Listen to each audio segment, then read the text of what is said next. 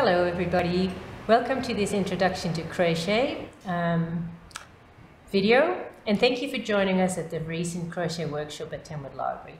So in this video I'll just repeat the basic crochet skills we taught you in the workshop. Now just remember there's no right or wrong in crochet as long as you feel comfortable. So what I'll show you is how I hold it but there's several different ways. Just find something you're comfortable with. If um, this is not the way you like it, just Google some basic crochet tutorials and you will find one that you like. Okay, so I hold my hook like you would hold a knife. And that's one of the, there's two um, main ways to hold your hook. So my way, where I hold it like a knife, and then there's other people that hold it like a pencil. Whatever works for you or any other way. Just make sure you take regular breaks because it is a repetitive movement and we don't want you injured, okay? So find a way you like to hold your yarn, and, um, your hook. The second one is your yarn. Now, there's different ways to hold your yarn as well. The yarn is, the yarn hand um, gives you your tension. So you want the tension to be nice and even, so your stitches will be nice and even. For me, it works best if I loop it over my um, pointer finger and over my ring finger. That gives me the right amount of tension. Now, I've seen people hold it just over here. That's too loose for me, but it might be right for you. I've seen people curl it around their pinky finger and then over here. If that works for you, use that. Any way that works for you is fine. I just want to show you what I use.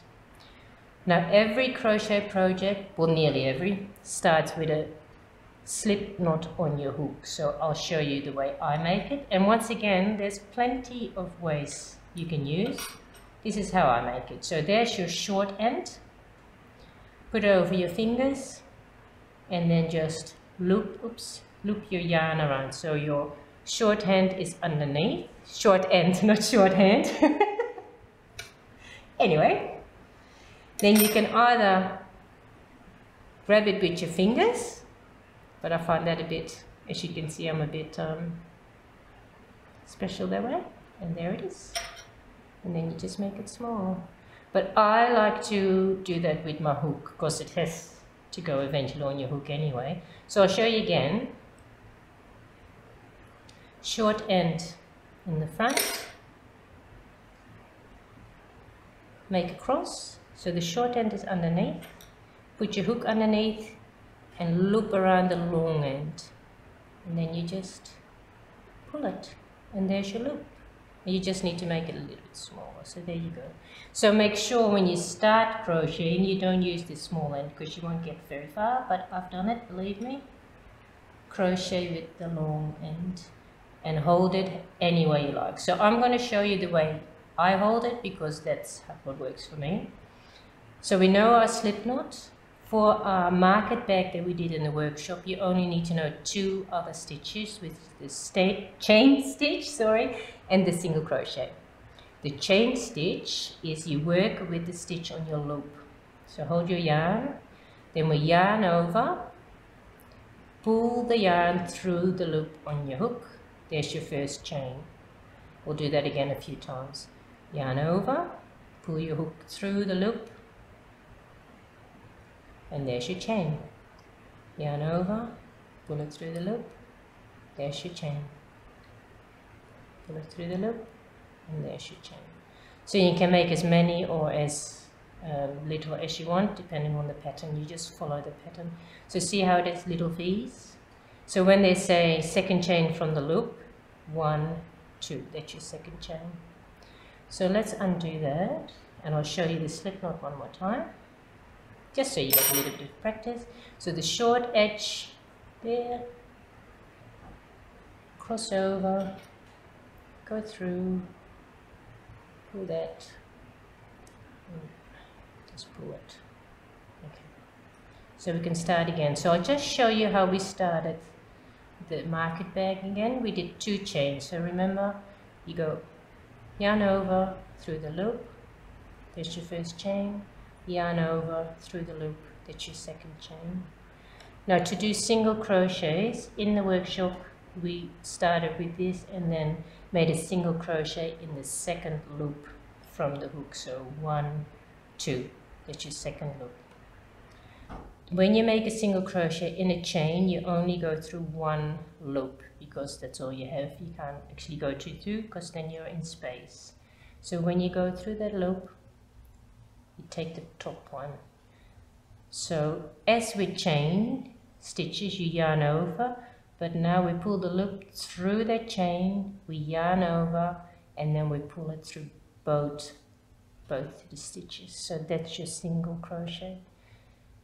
In the workshop we did six in that first loop so let's do that again so you can see how they work. So in through that loop yarn over pull through yarn over pull through two loops. There's your single. So we've done two singles now. And they make little V's see? So you can count them. Let's do that again. Through.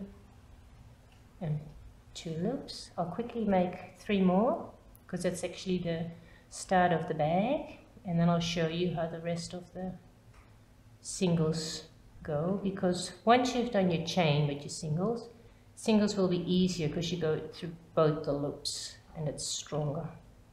So hopefully I've done six now. I didn't actually count so I count the stitches. So one two three four five six. That's six. So for the bag single crochet now. Make sure you have the long end, not the short end. Go through both the loops of your single crochet. So that's your single crochet there. Go through both loops now. Can you see that? It's a little bit tricky to start with because you have your